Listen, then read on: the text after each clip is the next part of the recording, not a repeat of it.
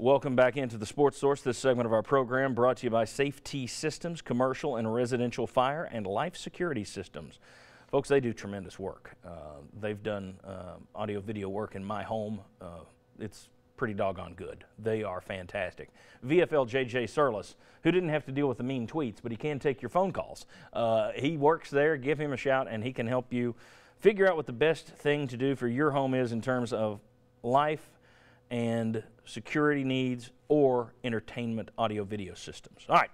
Very quickly, we're going to have like 20 seconds on each of these questions. I apologize, but we want to get to the vote in the last segment. Chuck, I did want to mention some of these things, though. Josh Dobbs had one of the best days. That might have been at 91% completions. That might have been the best game in the in the in the nation for a quarterback this year. The other guy, it would be percentage points. It's either number one or number two. 31 of 34, 340 yards passing, two touchdowns. He did fumble, Right. big fumble. How much blame, if any, does Dobbs get last night? He's pretty far down the list, but he gets some because I thought that turnover was one of the key turning points of the game. Uh, but we've talked about it. What is the margin of error for this offense? As bad as this defense is, how can you start by blaming the offense? I agree. Yeah, uh, he'd be very small on the list. I, and I had people last night upset with him.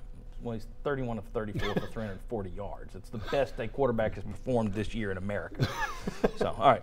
Uh, Jimmy, Derek Barnett tied Reggie White's sack record at Tennessee with 31. Where do you rank him with all defensive greats? I would have to rank him really high because anytime you're in the same company as Reggie White, that's impressive. And also the fact that in tackles for loss, I think he's second school history. But I am concerned about him come, becoming one dimensional. I think he is after sacks, and I don't think he is playing run defense like he should. I think he's taking himself out of some plays. But again, if you're in that company with Reggie White, I have to put you up there very high. And Will, just a yay nay. He, he lost some money last night. He did. Tight end for Vanderbilt really worked him over on the run game. All right. Uh, it's possible, Will, Butch Jones could leave on his own.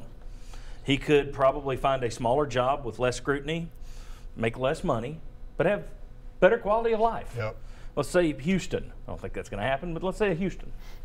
Um, would you judge him if he said, I don't want this SEC scrutiny. I'm going to a smaller place and I want to enjoy my life? No, I mean, I, I don't think you can judge anybody that makes that decision. If you say, listen, this is just too much stress on me and my family, I want to have a better life, I want to live longer and not have a heart attack, you know, great. I mean, it's not like he's going to go to one of these schools and not get paid seven figures.